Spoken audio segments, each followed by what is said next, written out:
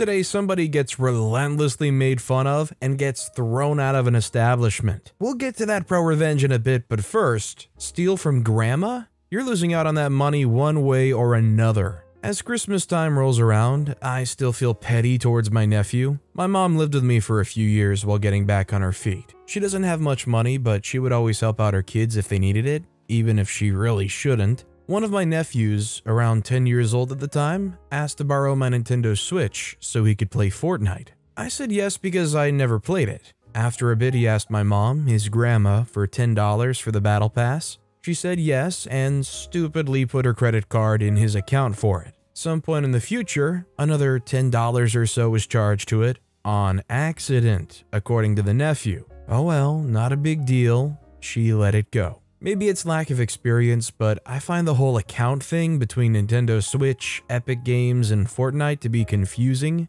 I tried over and over to delete her card info out of the accounts, but he would always get it back somehow. I don't think he could have written her info down. My brother had to drive 45 minutes to get the Switch to me to delete the info. Over the next year or two, he charged something like $300 to the credit card outside of the time she gave him permission, Somehow it was always a mistake, and he would immediately text and apologize and got to where he asked us not to tell his parents. My mom wouldn't do anything about it other than tell him to stop. I tried to stay out of it because it was between them, so I got fed up after a certain point. I texted my brother to bring me my Switch back, and I was keeping it. I told him about all the charges. My brother has always used my mom for money, including stealing from her, so he acted concerned, but really, he couldn't or wouldn't pay her back. He brought it back to me. Nephew kept asking to have it back and was apologizing, but the answer was no. That wasn't enough for me.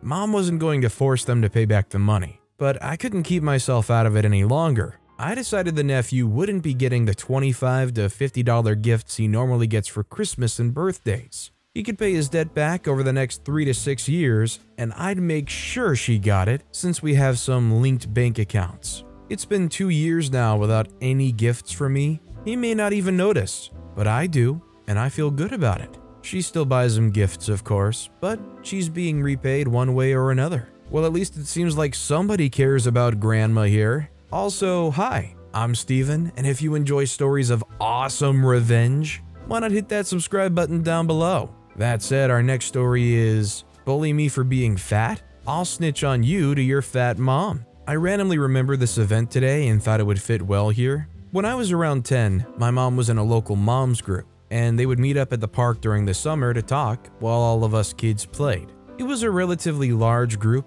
and like all large groups of children around various ages, there were a few bullies. I was a super dorky, annoying kid who had way too much confidence for my own good, so I probably did something to annoy this older boy around 12 enough to pick on me. At first, he would just poke at how I was short in passing, which didn't bother me that much. Then it changed to calling me fat and short. I minded the fat part a little more, but my friends advised me to just ignore the boy, especially because he was much bigger than us and had a group of friends who were also mean. So for a while, I just shook off the jabs. Then it happened. The boy did something 10 year old me considered unforgivable. One day, we were all playing Red Rover. Red Rover, Red Rover, let OP come over, the children on the opposite side called. Yet, when my name was called out, another name was shouted louder by my bully Piggy, come over! I felt a flush of embarrassment and anger in my cheeks as I jogged over to the other side. But I tried to hold my head up. That was until I heard the boy and his friends oinking like pigs in my direction. I felt tears threaten to brim in my eyes and anger kindle in my heart. And right then and there, as the rest of the kids were yelling, Red Rover, I came up with my plan. I knew there was no point confronting the boy, it would only make things worse. But I glanced over to a few yards away where his mom was chatting with some of the other moms. My bully's mom was a kind lady, but she was very strict with her children. According to my mom, who was friends with her, and I knew her son would never act up in front of her and live to tell the tale. His mom was also very short and plump. For a few weeks, I waited and watched, and finally, my chance came. We were at the pool for the birthday party of one of the kids, and I looked up to see my bully's mom head towards the bathroom. I followed her and waited by the sinks. I stared down at my hands and thought of my favorite cat dying until I felt tears begin to roll down my cheeks. A stall door swung open and I heard footsteps and the sound of water running,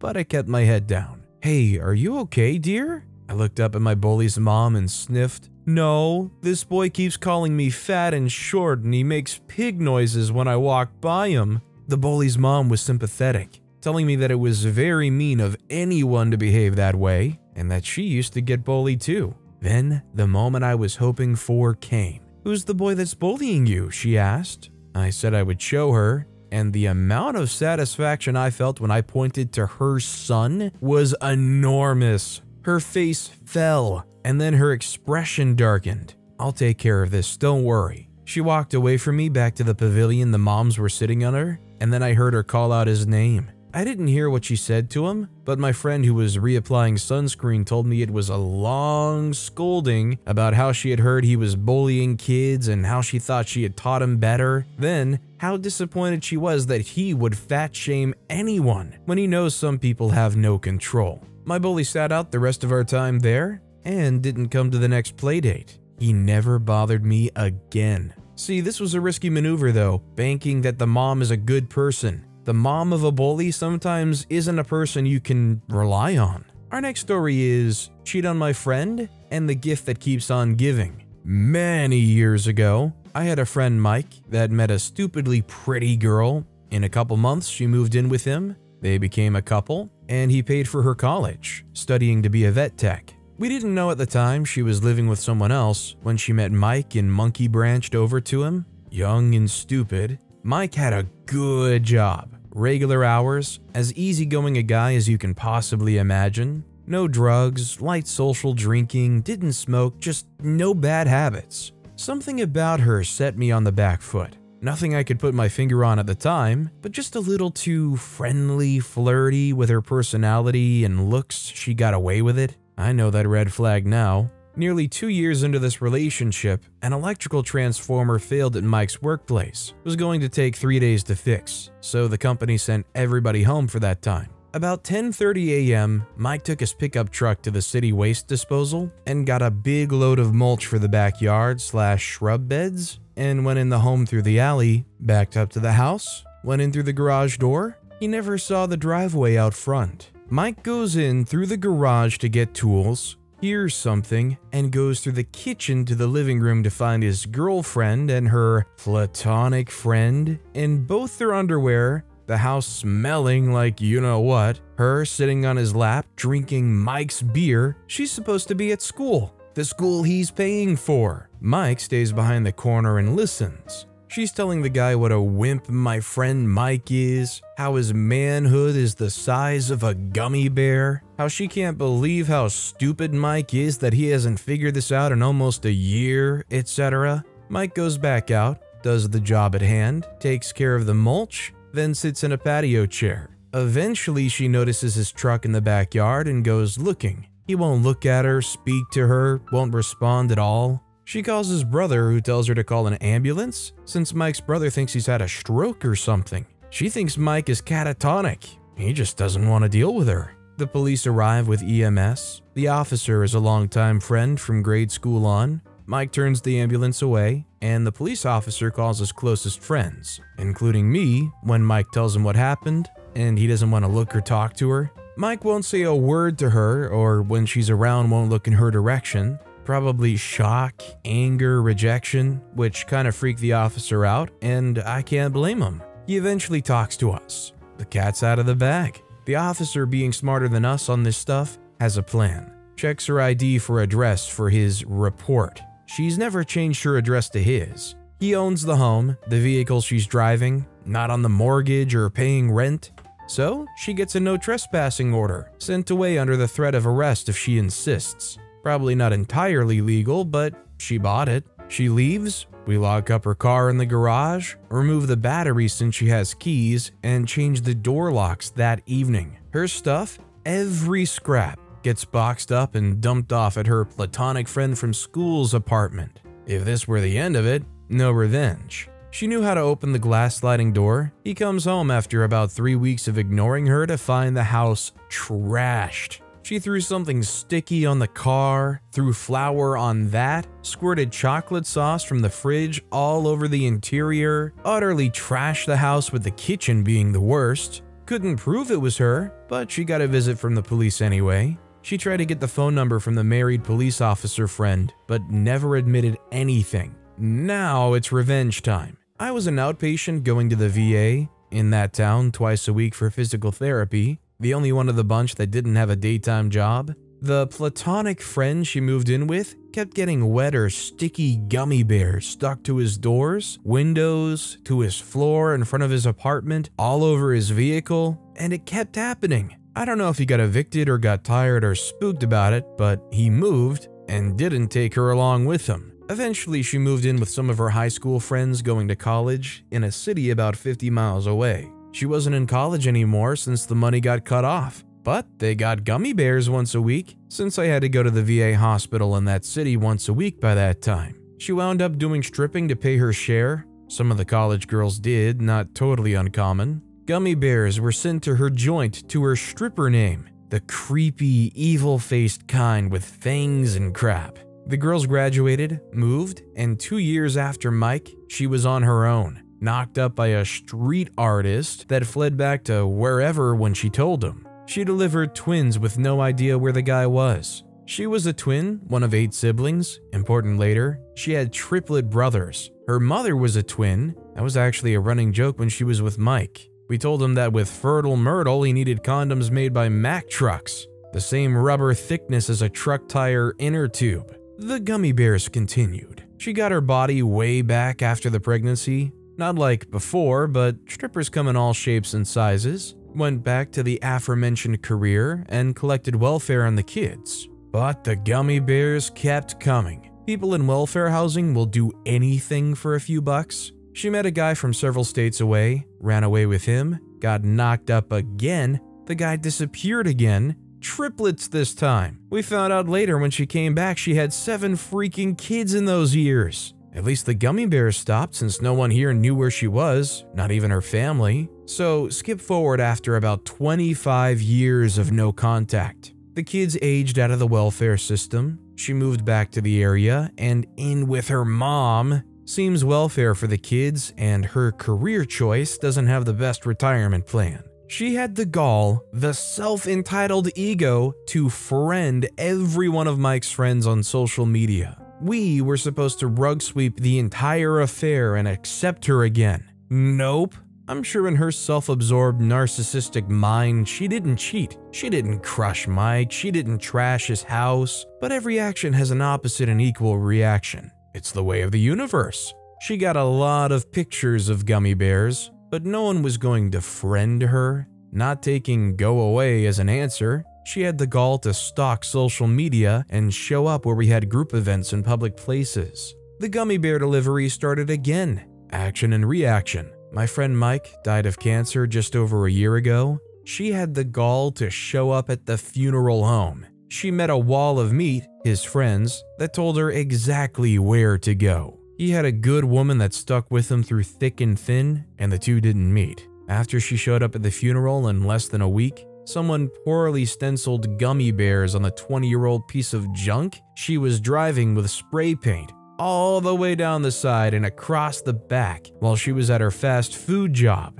The bears were inappropriate, not cute and cuddly. Action and reaction. Jump forward a year, she decides to show up to dinner and drinks, partly a tribute to Mike being gone a year. Recently, she got a 10 pound size see through gummy bear with an object shaped like a certain something inside, action and reaction. That specifically shaped something says platonic friend down the side. The gummy bear is made of virtually indestructible resin. You can find the molds online. Yes, Dorothy, revenge can come past the grave. Mike's friends are semi retired or retired, and we have a lot of time on our hands. Don't screw with lifelong friends. I feel like this lady has to have literally nobody else to turn to if she's being treated this way and still trying to insert herself into that friend group. Our next story is casually haunting my childhood bully with discounts and special offers. For most of elementary school, I went to a private school where the educational quality was pretty good, partially because the class sizes were so small. Unfortunately, that meant every year I had the same bully and no crowd into which I could disappear. Every year, on every school playground, during every recess and gym class, at every time that any teacher, coach, or lunch lady looked the other way,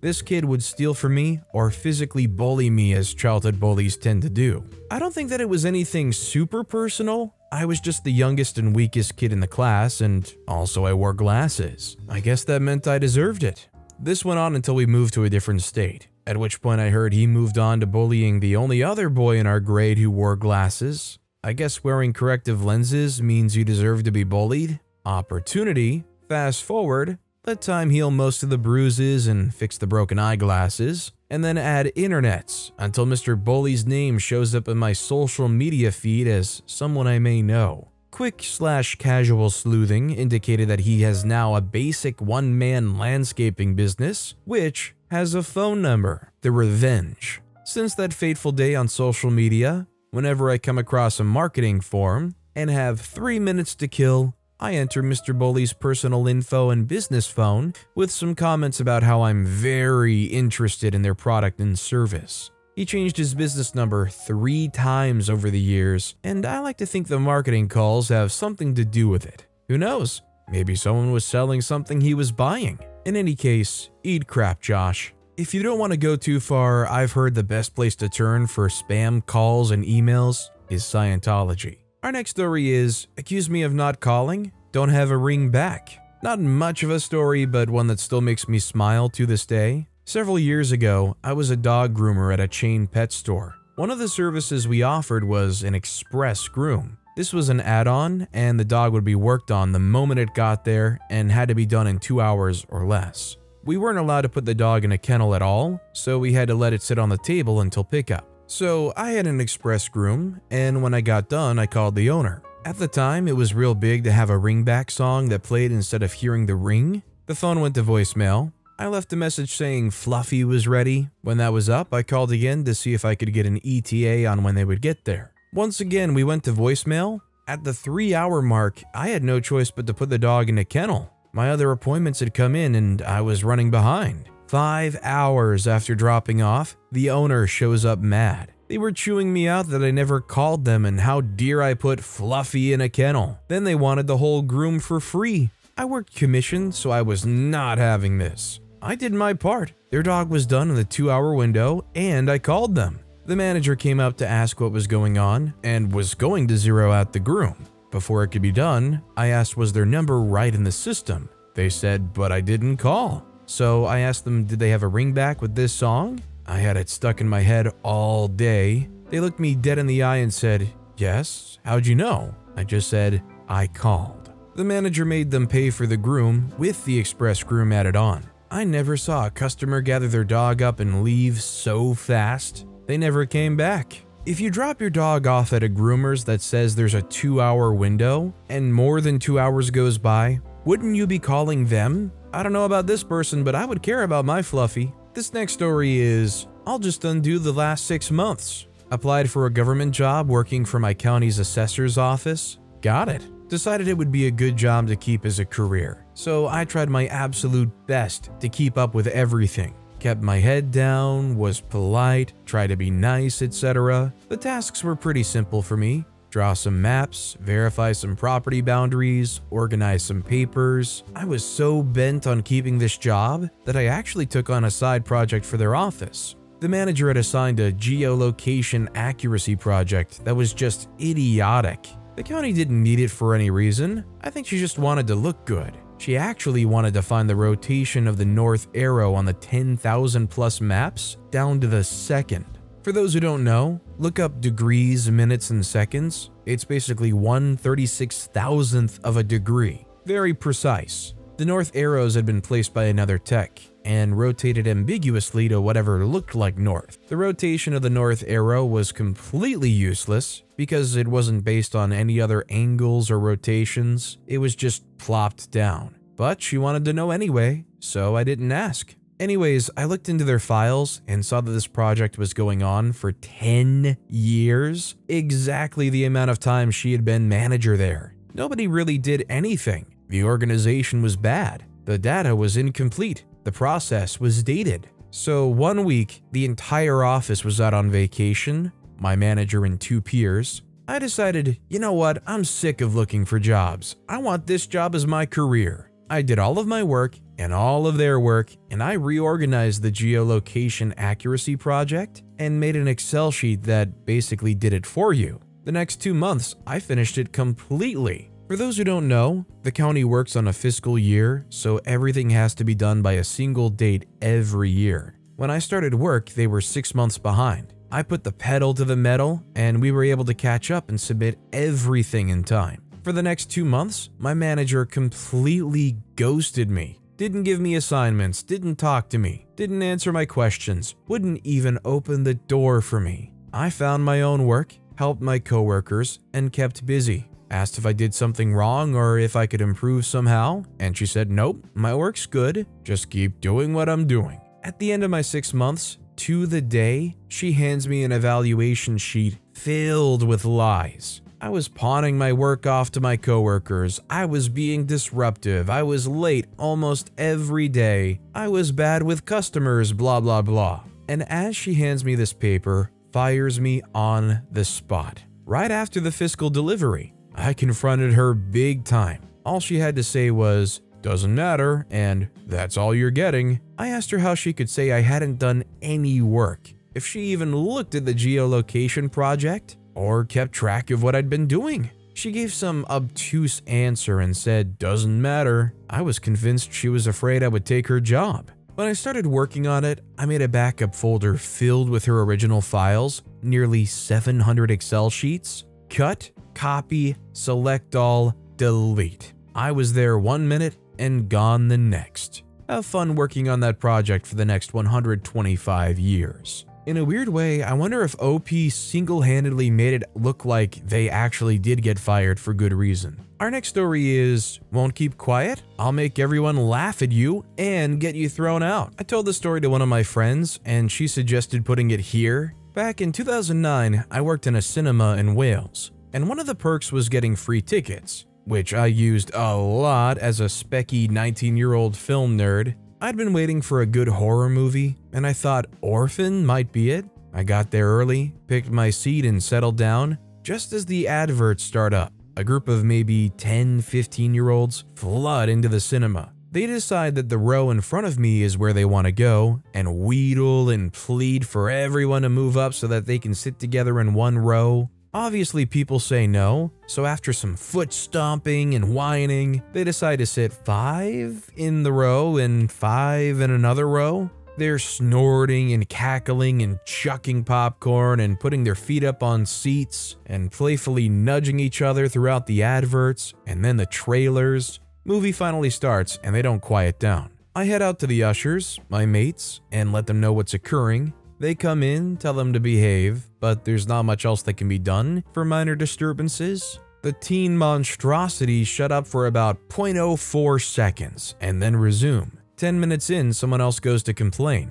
They get told to shut the freak up politely and they don't listen again. By now, three of the group, all girls, have begun a running commentary of everything that's happening in the movie. People shout for them to be quiet. They don't listen. A little while in, maybe halfway, minor spoilers, the lead actress breaks her own arm in a vice, and one of the girls lets out the most ear splitting screech, and I finally lose my patience. The girl says, Oh my god, did you see that? I said, We all did, you stupid bleep. It's the freaking cinema. The place erupts in laughter, and the girl stands up and starts yelling at me, but I have no idea what she said because I'm very rarely that witty, and I was creased with laughter. And then the usher walks back in. The other two girls start weeping on cue about how I'm abusing them. And the usher, after being told that's not what happened, decides to side with me and finally gets the manager and throws them out.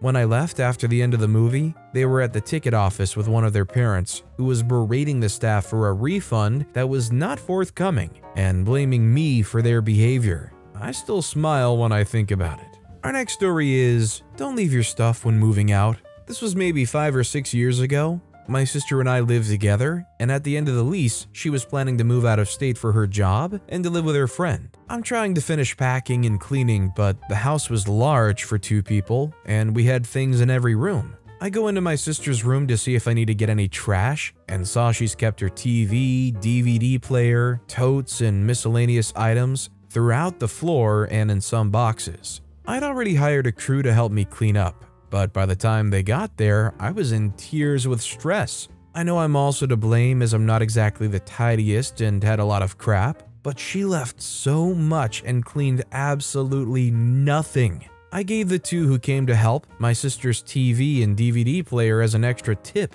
Anyway, I'm on the phone with my mom and I tell her what's going on. She offered to pay for a massage, was super nice, and helped me calm down. I decided that my sister would be getting her own things back as birthday gifts and Christmas presents. She thought it was a good idea. So, for the last five or six years, she's gotten her own stuff back as Christmas and birthday presents. I didn't want to keep it all until I gave it all back, but I gave her what I considered to be important, i.e., her prom photos of her and her friends, photos in general, favorite board game, etc. Obviously, it wasn't that important to them if they left it all there, so hey, might as well go passive aggressive with it. This next story is I reply to a condescending comment in kind. So, I'm not from the US originally. I went to high school here, college, been here more years than not. I would say I assimilated well, but sometimes I still get the usual, Where are you from originally? Your English is so good. I've been to this country that's three countries away from yours, so I'm basically an expert.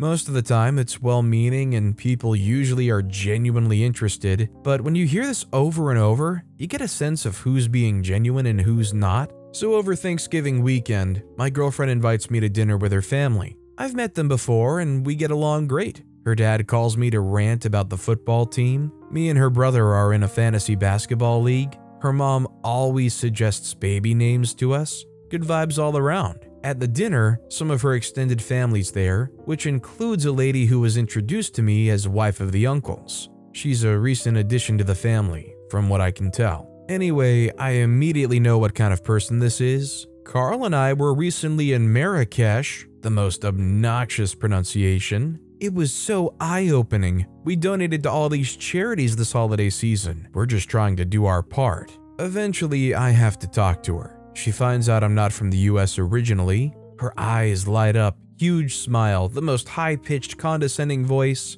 Wow, your English is so good. So I replied with something I wanted to say for a while, but hadn't seen a good opportunity. Thank you so much. Your English is good too. Everyone in the vicinity got very quiet. Girlfriend's mom came to the rescue to take her away on some task. The evening passed without further incident. After everyone left, her brother and dad are laughing hysterically, recounting the incident. Her mom is trying to appear stern but can barely keep the smile off her face. In the following days, the girlfriend is gleefully relaying to me all the family members who thought this was hilarious. I'm about to beat her brother in fantasy this week. Life is good. That said, our final story of the day is Brother absolutely pollutes our childhood home and yard with plastic. He gets it back in pieces for decades. My 34 year old female, younger brother, 31 year old male, had a penchant for anything that shot projectiles as a kid. We both grew up learning how to shoot from our dad, and we had a pretty large backyard to practice in. We couldn't shoot real bullets because the neighbors were too close, but we used the heck out of a pellet pistol, and he had several airsoft guns. Bro used to chase me and my friends around, spraying us with the plastic airsoft pellets, all in good fun, and he was in much less shape than I was at the time, so I usually could outrun him no problem. He estimates he shot around 50,000 of these little plastic balls over the course of a few years. Fast forward to now, and we both regularly are at our parents' house where we work at the family business in the backyard. Every time it rains or the area gets mowed, some of these red pellets pop up from their graves. I've been finding them and collecting them for years. Sometimes I leave them on his workbench for him to discover when I'm not around. Sometimes I hand them to him directly. Sometimes I put them in his car on the driver's seat. I've even roped in some of our coworkers on the joke, and now they return any pellets they find to him. Bro just rolls his eyes and tosses them into the trash, while I smile sweetly and remind him that I won't shoot him point blank in the forehead while he's napping on the couch, like he did to me when we were in high school. Maybe you could have said that OP was too annoying, but when you heard that last anecdote about taking the airsoft pellet directly to the forehead while napping, totally justified. But with that being said, that's all the time we have for today. Now, if you want to hear another absolutely awesome story of revenge, check out that video on the left. Or if you missed my latest video, check out that video on the right. That said, I'll see you all next time with some more stories.